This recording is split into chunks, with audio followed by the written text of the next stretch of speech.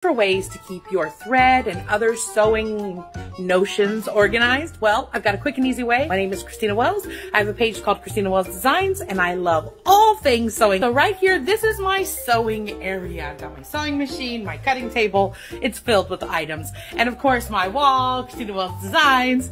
And right here, I have these two really easy items. This is a thread holder. Now you might see some people use this for braiding hair. I've seen people use them for all kinds of interesting things things. What I do is I actually went through all my threads. This is all the thread I have. No baskets or bins of thread that you can't see. You can't see it, you don't use it.